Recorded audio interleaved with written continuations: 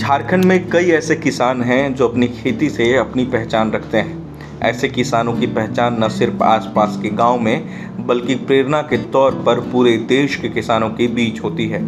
खूटी में एक ऐसे ही किसान चर्चा में है। इसमें किसान की मदद कर रहा है मनरेगा। इसी के तहत बागवानी और खेती से जुड़े खूटी ज़िले के तोरफा प्रखंड के कुमार्ग निवासी मोलिया भेंगरा का घर अब पहले जैसा नहीं रहा। स्थिति बदली है। घर के लोगों को पौष्टिक आहार के साथ साथ महिलाओं को कुपोषण से भी मुक्ति मिल रही है। बच्चे स्कूल जाने लगे हैं। यह सब मनरेगा से लगी आम की फ़सल के कारण संभव हो सका है। मूल्या के बागानों की कीमत बढ़ रही है। कई बेहतरीन किस्म के आम लगे हैं। इन्होंने 245 आम के पौधे साल 2016 में लगाए थे। बीते साल इसने अपनी पहली फ़सल दी। इस बार पहली फ़सल से ज़्यादा की उम्मीद है। मूल्या बीते साल पचास हज़ार रुपये कमा पाई थी। इस बार उन्हें एक लाख से अधिक के आम की बिक्री की उम्मीद है। खूंटी ज़िले के अन्य प्रखंडों में भी मूलिया जैसे कई लोग हैं जिनके खेतों की शोभा आम की फ़सल बढ़ा रही है।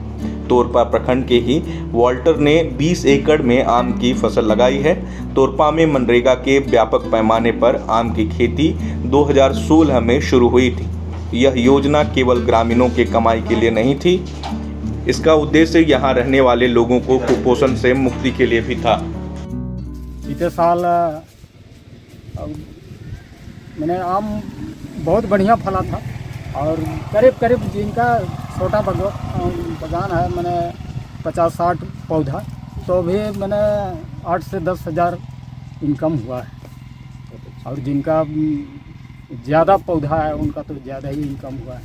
ये आम बागवानी जो है हम लोग का पंचायत में 1200 एकड़ लगभग लगभग आम बागवानी लगवाए हैं। जो स्टाफ हैं वो उनके मार्गदर्शन से अभी बहुत ही गाँव का काया पलट हो गया है। बागवानी के माध्यम से फिर खेती बाड़ी के माध्यम से भी अभी बहुत ही अच्छा काम हुआ है। और आज भी लोग आए थे इन साल कैसे हम लोग खेती करेंगे इसके विषय में चर्चा हुआ है। अभी टमाटर और ये मकई को इन साल मैंने बृहद रूप में खेती करने का प्लान बना है। 2015 या 16 में? से पंद्रह में शायद। हम पूछे चाचा आप कितना का आम बेचे? पैंसठ हज़ार का बेचे रे ऐसा करके हमको बताया तो कितना ठो पेड़ है? चालीस ठो। हम सोच रहे हैं उसी दिन से हम सब शुरू किए कि हमको पेड़ लगाना है। 2015 से। हम लगाएँगे लगाएँगे। यहाँ पर ये हम लोग का पाँच एकड़ एक ही जगह प्लॉट है तो पाँच एकड़ में हम आम ही लगाएँगे और कुछ नहीं। ताकि हमको भविष्य में जब हम बूढ़ा होंगे तब तक हम लेते रहेंगे। ऐसा सोच करके उसी से हम प्रेरित हो गए कि हमको लगाना ही लगाना है। तो पिछली बार कितना कमाए थे इससे? पिछली बार आम से हम छिलवाए थे माँ को तो कितना का बेचे थे हम उसको नहीं पूछे माँ को। अच्छा। इसलिए कि हम लोग बीते साल यहाँ कुआँ भी खोदे तो जितने लोग कुआँ खोदने आते थे इस बार हम फ्री में खिलाएँगे सबको। ऐसा बोला और सबको मैंने तोड़ तोड़ करके जे जो भी आते जाते थे इधर से मैंने जान पहचान लोग आइए आम खा लीजिए ऐसा करके हम बोलते इसका असर अब दिखने लगा है। स्वास्थ्य की स्थिति भी सुधर रही है। गैर सरकारी संस्था प्रदान ने अहम भूमिका निभाई है।